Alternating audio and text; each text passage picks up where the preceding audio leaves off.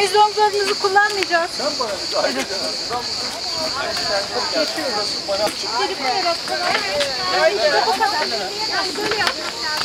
E, verdiyse el koyun diyemezsiniz.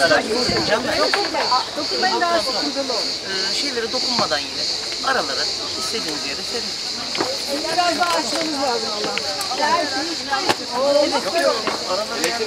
Bir arada geldik buraya yan yana hepimiz oturacağız, piknik yapacağız, denizimize gireceğiz.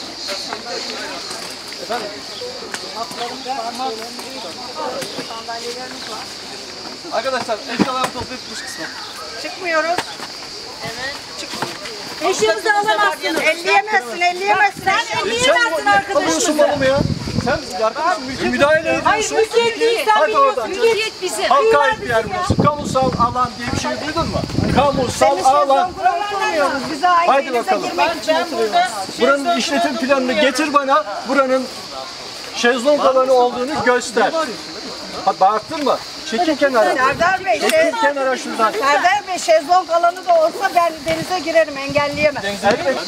Sanki vahşi doğada belgesel çekiyoruz. Herkes bir yere çöküyor. Her hayvan bir hayvana çöküyor. Her insan bir koya çöküyor. Her insan bir sahile çöküyor. Ama buradaki insan tırnak içinde. Ya denize girsen engelleyeceğim tamam diyeceğim. Ya tamam girecek. E buranın pisliğini misliğini temizleyen de bak. Kardeşim o zaman para kazanacak. Sevgili kardeşim para kazanacak. Sen de ben bak. Senin işletmen orası. Git orayı işlet. Sen de çalışansın bak. O zaman ben burayı bırakayım temizlemeyi bırakayım sen temizleyecek misin? Sana bir şey.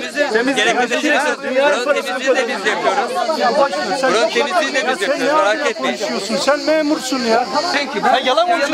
Nereden gireceksin? Yalan konuşuyorsun ya. Yalan konuşuyorsun. Nereden gireceksin teyze? Bak hocam ne demiş bak oku. Kıyı ve sahil Kanun, siz kanunu korumalısınız. Öncelikle kamu yararı gözetilir. Kanunu koruması gereken sizlersiniz. Biz size güvenmezsek kime güveneceğiz?